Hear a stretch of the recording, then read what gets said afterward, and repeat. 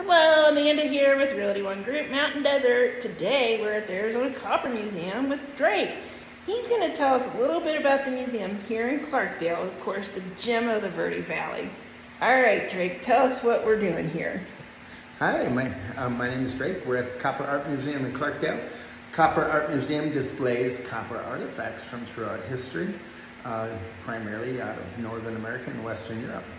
Clarkdale used to be an old mining town and smelting town in history, smelting copper. And of course, if you want to find out what happened to that copper, besides electric wires and plumbing tubes, you come out to the Copper Museum.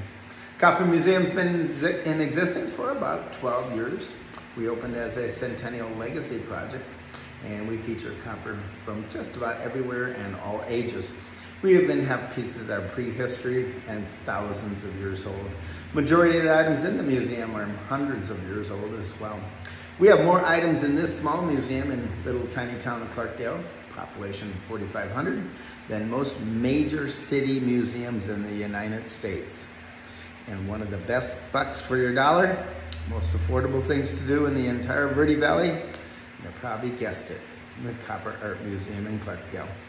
Is highly rated, and as soon as you walk through the very front door of this building, you'll see why people like this museum so much. It is very different than what one expects of a small town. Thank you, Amanda. Okay, let's we'll take a little brief look around here in this room, but that's just a teaser because you got to come see it yourself.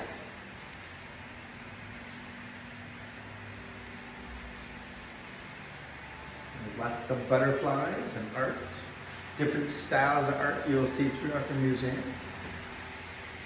And don't ever think only good things happen in big city museums. They happen in small towns as well, where they tell very unique stories in the United States and the world.